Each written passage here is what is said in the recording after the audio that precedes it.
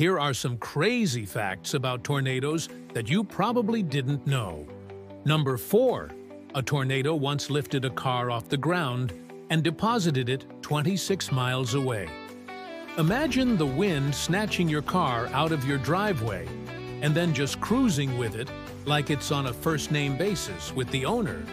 Number two, 3. In 2013, an Oklahoma tornado destroyed 136 homes and caused over $2 billion in damage. That's almost as much damage as the Great Chicago Fire, which lasted for five days and destroyed 100 square miles of the city. And number one, most tornadoes occur in the United States, specifically in the Midwest and the South Central regions.